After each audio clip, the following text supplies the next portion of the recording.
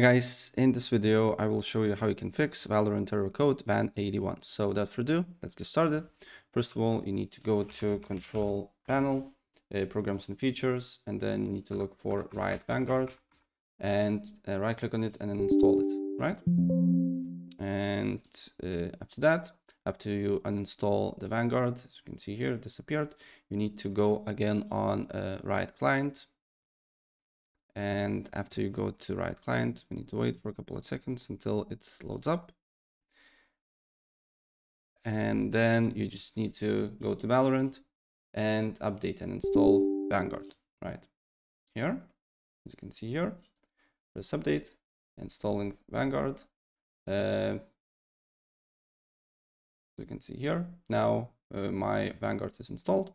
And then what you need to do here next is to go to services after you install the Vanguard, then click on one of, one of the tasks here and uh, press V. And then here should be VGC, right click on it, go to uh, properties, then uh, here on startup type, make sure that it's on automatic, and then service status, make sure that it's start. Uh, or service sta status, uh, make sure that it's not stopped, right? Uh, and then after that, just apply the changes and another thing that you need to do here is to write run. And then here on run, uh, you need to write msconfig.